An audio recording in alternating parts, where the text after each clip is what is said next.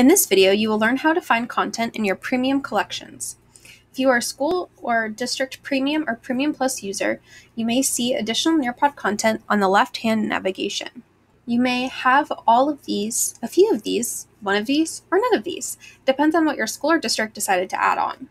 To view the content in the premium collection, simply click on the name of the collection.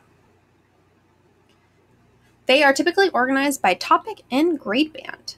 When you hover over a bundle, you will see an option to either add to my lessons or preview. If you click add to my lessons, it'll add the full bundle with all of its lessons to your My Lessons sections on your homepage as a folder.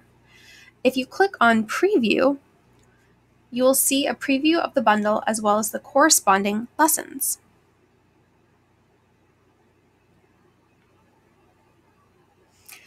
From here, I can click through the cover lesson and see an overview of the bundle. When I scroll down, I see the lessons that are in the bundle.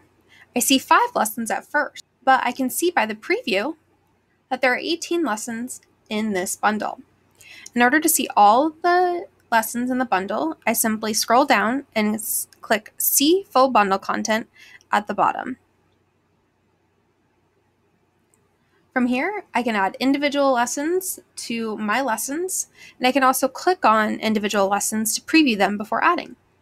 This is how you find content in premium collection bundles. Happy teaching!